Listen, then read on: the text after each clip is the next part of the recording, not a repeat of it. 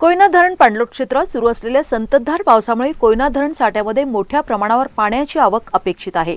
कोयना धरणातील पाणी पातळी नियंत्रित करण्यासाठी दिनांक बारा सप्टेंबर दोन हजार एकवीस रोजी दुपारी दोन वाजल्यापासून दहा हजार दोनशे चौसष्ट क्युसेक्स विसर्ग चालू असून त्यामध्ये वाढ करून सायंकाळी पाच वाजल्यापासून पंचवीस हजार क्युसेक्स इतका विसर्ग नदीपात्रात सोडण्यात येणार आहे. त्यामुळे नदीकाठच्या गावातील नागरिकांनी सतर्क राहावे अफवांवर विश्वास ठेवू नये असे आवाहन जिल्हाधिकारी डॉक्टर अभिजित चौधरी यांनी केले आहे. सद्यस्थितीतील धरणातील पाणीसाठा आणि विसर्गाची माहिती पुढीलप्रमाणे. कोयना धरण आजचा पाणीसाठा एकशे तीन पूर्णांक चौऱ्याऐंशी धरण भरलेली टक्केवारी नव्याण्णव विसर्ग पंचवीस हजार क्युसेक्स. धोम धरण आजचा पाणीसाठा बारा पूर्णांक चौदा धरण भरलेली टक्केवारी नव्वद विसर्ग सहाशे बावीस क्युसेक्स. कणेर धरण आजचा पाणीसाठा नऊ पूर्णांक एकोणपन्नास धरण भरलेली टक्केवारी चौऱ्याण्णव विसर्ग चोवीस क्युसेक्स.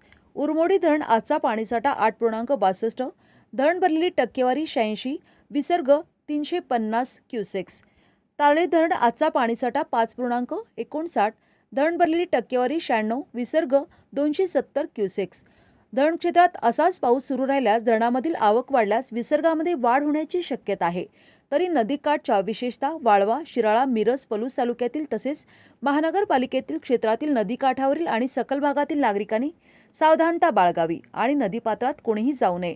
कोणाच्या पार्श्वभूमीवर अधिकची सतर्कता बाळण्या बाळगण्याचे आवाहनही जिल्हाधिकारी डॉक्टर अभिजित चौधरी यांनी केले आहे.